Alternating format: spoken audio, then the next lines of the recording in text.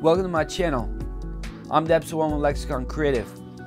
In this week's episode, you'll get to see me create stickers for some of my art pals. I'll be sending these out to some of my fans. In the, in the video, I create two graffiti pieces and two characters, which I call Gnomies. They're my homies. I developed these over the years and they're my signature characters. If you're interested in getting your hands on some of my stickers, all you have to do is send a self addressed envelope with a few stamps to my P.O. Box. The address is in the description. I'll ship you out some cool stuff. This week's beat tape is titled The Wolf of Beat Street. It will be out soon on all streaming platforms under the artist name Deps One. That's D E P S space O N E.